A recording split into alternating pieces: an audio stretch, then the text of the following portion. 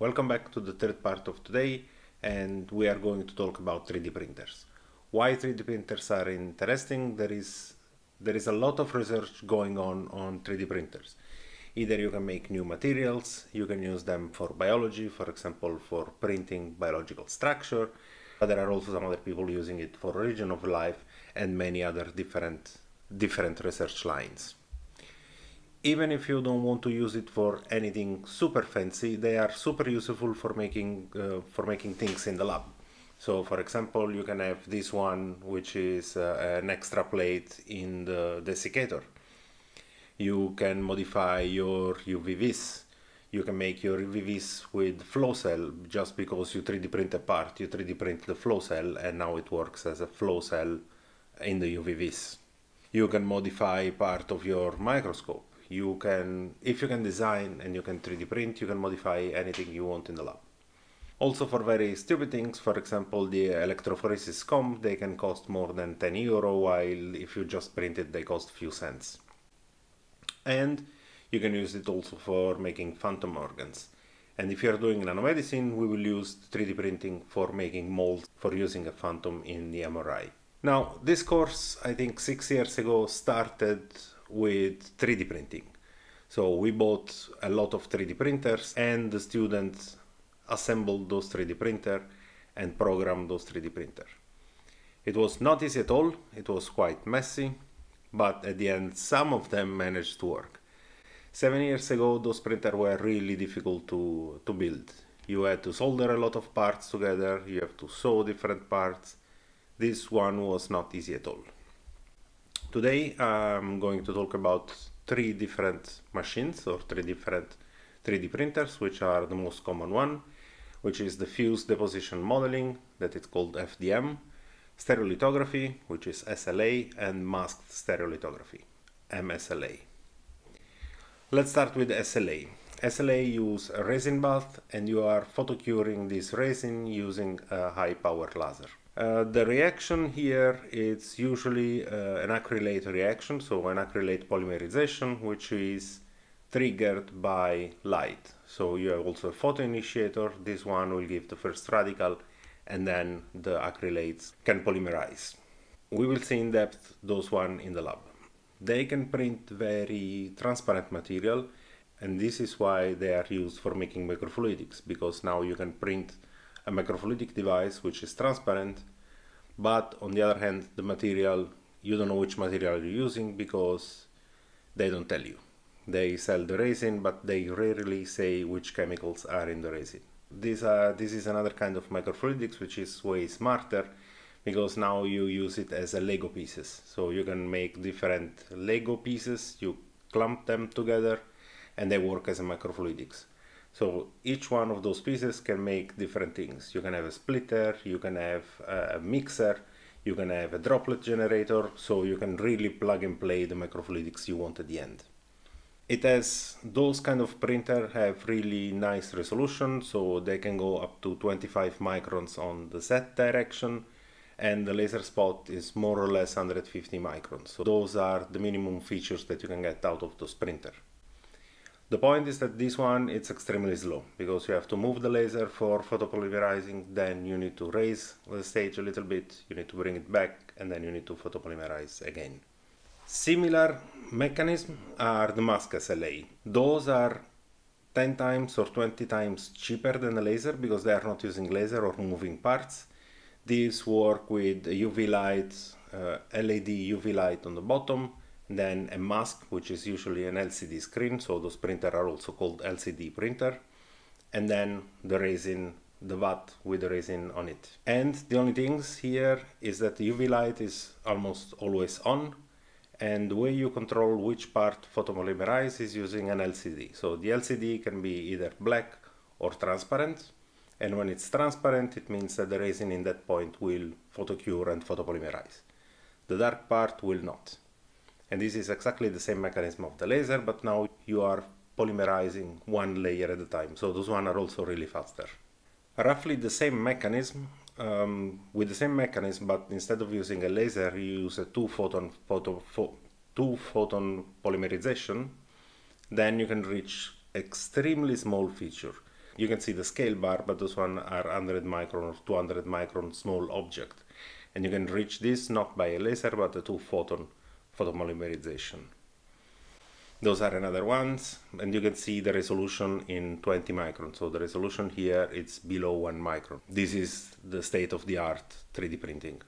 As I told you, there are a lot of different materials. Most of the time they don't tell you which material is which chemicals are in the resin, but on the other hand, those are um, those are acrylates. So if you know a little bit of chemistry, you can actually make your own resin, and this is what we are doing in the lab. Second kind of printer are the fuse deposition modeling printer. Those one are the most uh, the most sold printer. Those are the standard printer, let's say, and they work by melting plastic. So you have a filament. The filament goes inside. It reaches the nozzle, which is at 200 degrees. The plastic is molten now, and you can make layer by layer with this plastic. They are usually very cheap, so way cheaper than an SLA but they have lower resolution. A lower resolution, so for example this one, which is an Ultimaker, it has a resolution of X and Y, they say about 100 micron, and they say also that the accuracy is around 12 microns.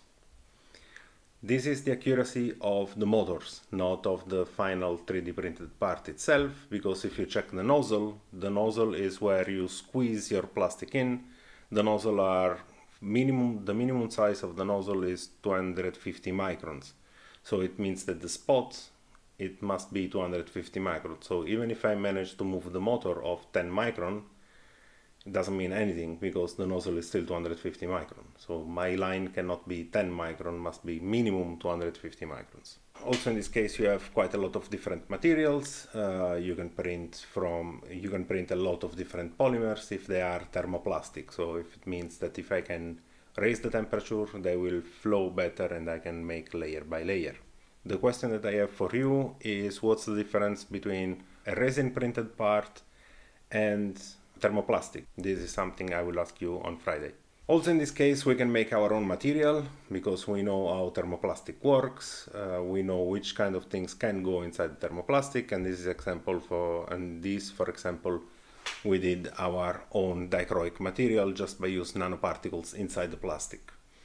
Those nanoparticles give you the uh, look of the Lycurgus cup, which is a cup made in the 4th century. And if you see the light reflected, it looks green but if you see light transmitted, it, the cup looks red. And we managed to do the same, uh, the same dichroic colors by using a 3D printer and nanoparticles, which in this case were gold nanoparticle and silver nanoparticles. Now let's go one moment in the lab so I can really show you hands-on which printer do we have in the lab and how do they work. See you later. Those two, both the Ultimaker and the artillery are FDM printer, so fuse deposition modeling printer. It means that they pick up plastic from here, they melt it through they melt it through the nozzle, and this one then will be delivered layer by layer on the build plate. Same things for the artillery. So this is your roll of plastic is going through and then is passing through your hot um, your nozzle which is down here and then is delivering the plastic layer by layer. The main difference between those two is that this one is called Bowden tube. So this that you see here is the Bowden tube. This means that the motor for driving the plastic through it's outside the printer. So this motor will move this plastic inside the tube and then inside the nozzle. With the Bowden tube, the head is um, light or lighter than the normal printer because you don't have any motor here. So the plastic is driven by a motor that is outside. So usually those printer can print faster than the, the direct drive. This, on the other hand, is a direct drive. So you can see the motor is directly on top of the nozzle. So the plastic is driven by the motor that is here. Up here, there is nothing.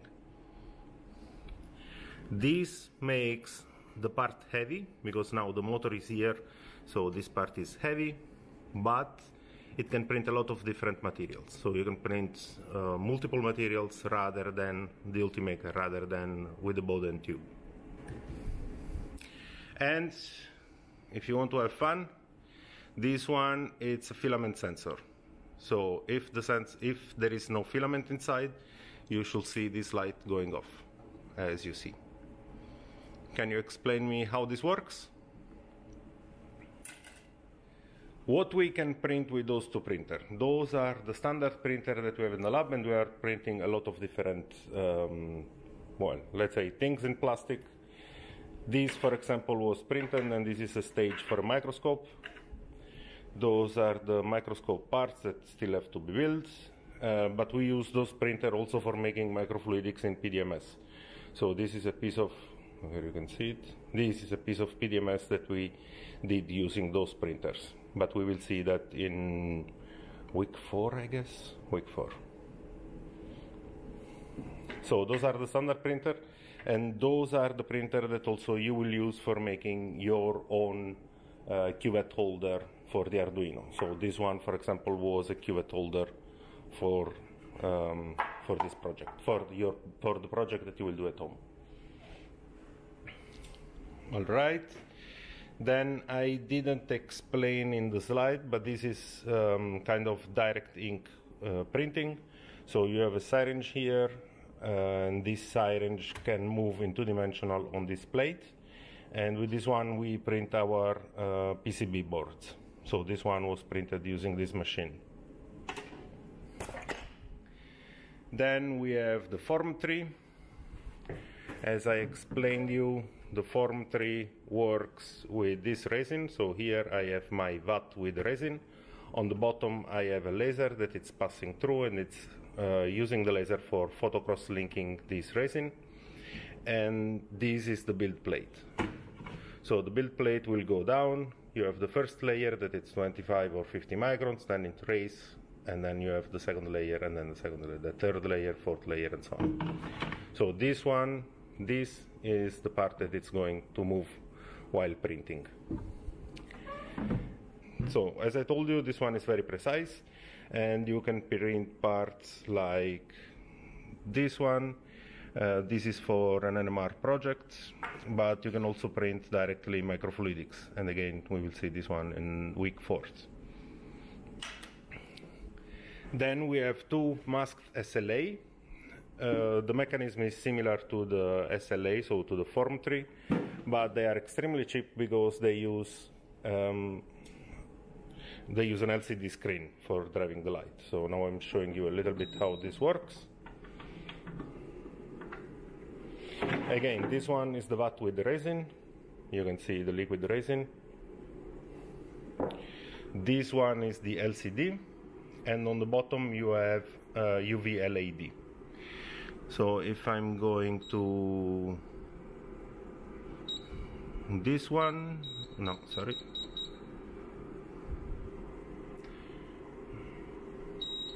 You should be able to see the, yeah, you see this one is the UV light passing through. It's not really UV, it's 405 nanometers.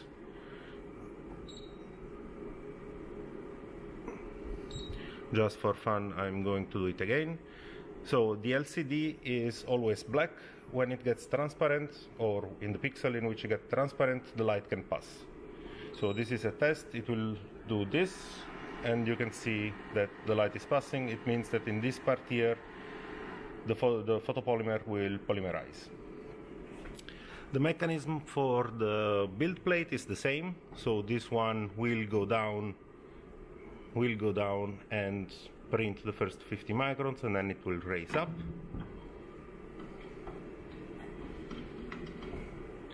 and this is what drives the the build plate for going down and up and down here why we have those machines in the lab is because we are doing our own materials um, if I break this one I have a little bit less problem if I break the big one that is quite expensive. So for example, this is, I don't know if you can see really how, light it is, but this is a fluorescent material that we are printing with those machines because we are making our own resin. This is a palladium nanoparticles material and we are also working on making the plastic more transparent. So for example, you can see this plastic, how transparent it is. So those two are for resin development and 3D printing development. This is for obtaining the best resolution that we can get in the lab. This is for printing PCB boards, so for making connection on the boards. And those two are the standard FDM printer that we have in the lab. All right, I hope I gave you enough information on all of those printers. Naturally, if you have any question, we will see ourselves on Friday. See you later. And welcome back. Uh, the only things that it's missing now, you know more or less how all the printer works. The only things missing now is how to design your 3D object. And I will suggest you to use Tinkercad and I will link a video on instruction on how to use Tinkercad. Say it so, I want to close today saying we have seen a lot of do it yourself and that's because there is a revolution going on and it's the maker revolution. This revolution is due to 3D printers, because now you can use 3D printer for making your object, and cheap microcontrollers. Those things are going to be really useful in the future, even if you are not in academia anymore, but if you gain knowledge on 3D printing, on 3D design, microcontroller and how to program them, then you can do a lot of different things. I will put those two papers in the link and if you read them you can see why it is so important to do it yourself sensor devices or anything else in the lab and that's all for today. See you on friday